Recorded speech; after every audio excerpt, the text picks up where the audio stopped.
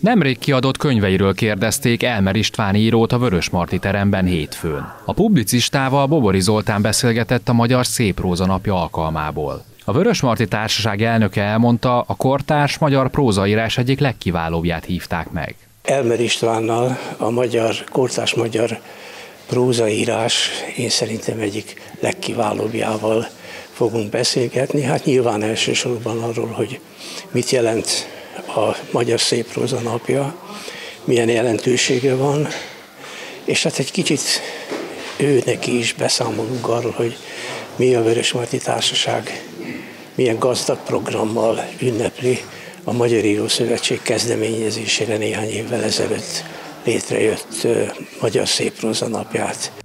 Elmer István 1983-tól az Ikarus című üzemilap, majd 1990-től az Új Ember egyházi újság munkatársa volt. 2004-ben József Attila díjban részesült, 2016-ban pedig európai éremmel díjazták. A publicista kiemelte, a Magyar Szépróza napja alapvetően Jókai Morhoz kapcsolódik. A szép prózának mi a lényege?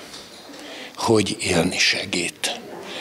Na most az írás első és legfontosabb esztétikai, esztétikai kritériuma, erről sajnos nagyon sokan elfeledkeznek, vagy nem is tudatosítják magukban, a tisztesség.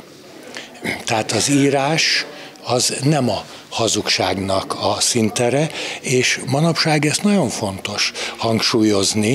A Vörös Marti Társaság következő programja csütörtökön lesz, ahol a társaság prózaírói olvasnak fel műveikből a Városháza dísztermében.